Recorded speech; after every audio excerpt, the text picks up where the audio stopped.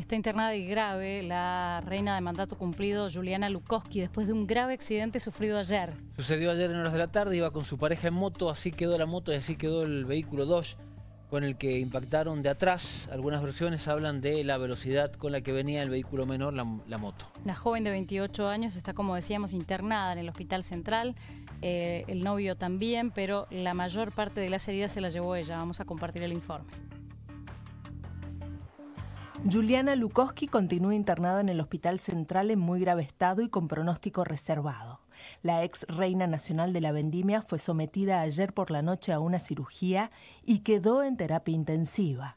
La joven de 28 años tiene politraumatismos graves, varias fracturas y presenta neumotórax. Según informaron desde el nosocomio, se le realizó en las últimas horas una laparotomía exploradora, estabilización de pelvis con tutores externos, tracción de fémur y una craniotomía. Debido a su delicado estado de salud, permanece con asistencia respiratoria. El papá de Juliana, Mario, en diálogo con Radio Niwil expresó su dolor y pidió que toda Mendoza rece por ella. Se hizo varias cirugías, varias cirugías y está estable, está estable, pasó la noche y hay que esperar que evolucione. Ha pasado varias, varias cirugías eh, bien, las pasó favorablemente, así que está estabilizada, está estable y, solamente hay que esperar que pasen las horas y pasaron varias horas y eso es favorable, tenemos mucha fe en Dios. Por su parte, Ricardo Luna, novio de Juliana y quien conducía la moto, evoluciona favorablemente y permanece en sala común. Se espera que sea dado de alta en el transcurso del día. Fue imputado por lesiones graves culposas y quedó, por el momento, en libertad.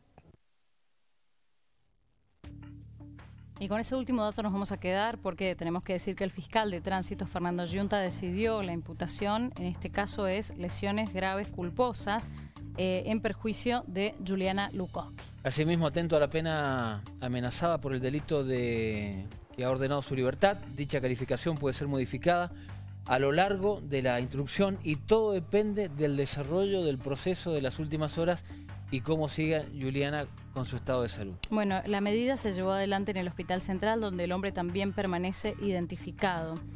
La modificación de la calificación depende de los elementos probatorios que se agreguen con posterioridad y del estado de salud de la joven. El fiscal Fernando Yunta ya trabajando desde muy temprano en la situación eh, de la imputación del ciudadano Ricardo Luna, quien conducía la moto.